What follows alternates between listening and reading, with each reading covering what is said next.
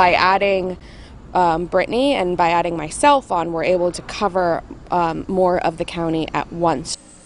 Right now it's six new humane agents on the job in Mahoning County, and we've learned why the need is so great. Good evening, I'm Lindsay Watson. And I'm Dave Sess. Every day it seems we have another case of animal abuse or neglect in Mahoning County. Well, there's some new help to investigate those cases. First News senior reporter Jerry Ricciuti shares the details, and it's our top story. Just a day into their new jobs, and Mahoning County's two newest humane agents are already on the road. Both Jane MacMurchy and Brittany Price took their oaths Monday from probate judge Robert Rusu, effectively tripling the number of trained agents working for Animal Charity of Ohio, who can now share the load with what had been just one agent for years.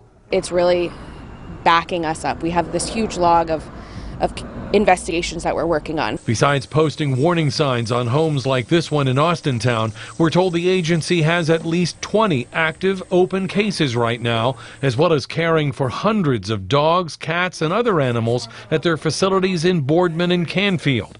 Money to cover the in office promotions and new hires came from a $100,000 grant from the Youngstown Foundation they came in and they saw our need, and we wrote a grant, and um, we did get approved.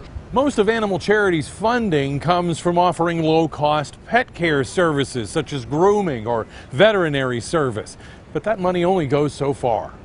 We're really, really struggling right now monetarily because the cost of the care of the animals is so high. MacMurchy says those costs run about $15 per animal per day.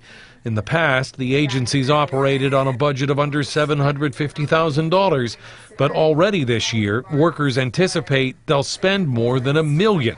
Still hopeful local governments will be able to offset some of that.